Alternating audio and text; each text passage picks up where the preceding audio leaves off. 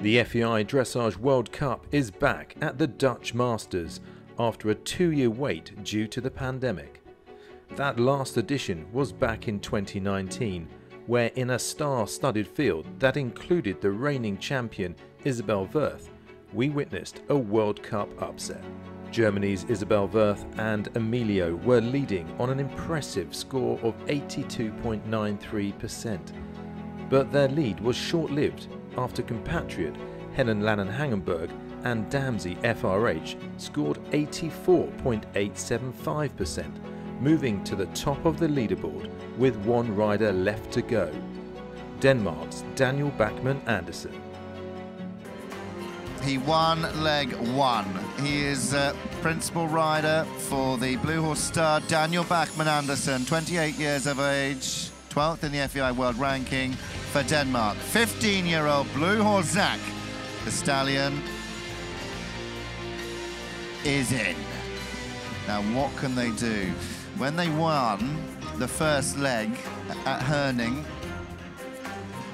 and it's been their PB score, mm -hmm. 83.395. So he's got to beat his own PB. He's got to beat his PB and go some.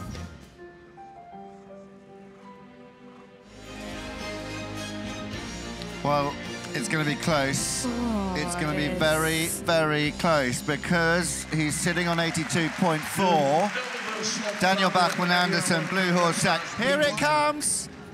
Here it comes. And he leads. He wins. 84.890. 0.015 ahead of Helen Langehanenberg. Oh. Damsey FRH. Can you believe it? I don't think he can believe it. Look at the shock on his face.